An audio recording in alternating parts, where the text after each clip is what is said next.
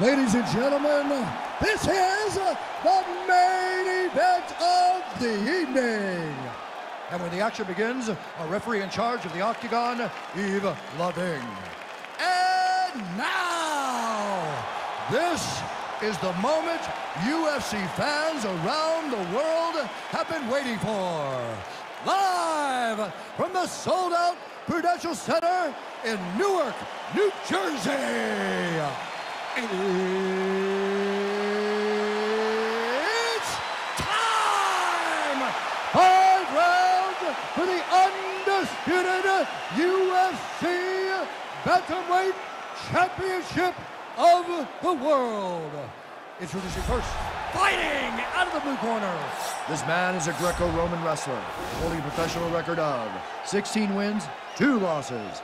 He stands 5 feet 4 inches tall, weighing in at 135 pounds. Fighting out of Phoenix, Arizona, presenting the challenger, Henry the Messenger Cejudo. And now, introducing the champion, fighting out of the red corner. This man is a mixed martial artist, holding a professional record of 22 wins, 3 losses.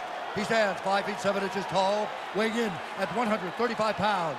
Fighting out of Uniondale, New York, presenting, the leading, defending, undisputed UFC Bantamweight Champion of the World, Aljamain Funkmaster Sterling.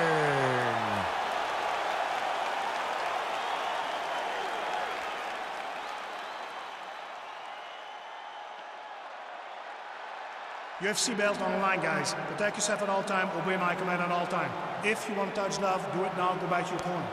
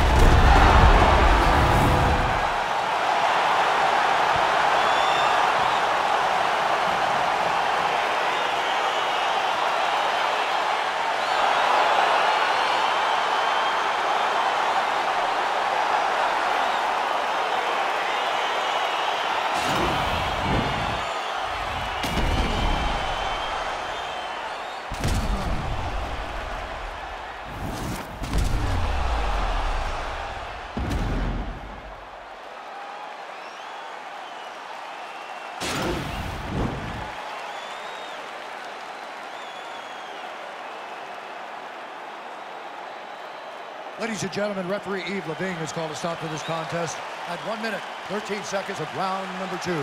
Declaring the winner by knockout and new undisputed UFC bantamweight champion of the world, Henry the Messenger Cejudo.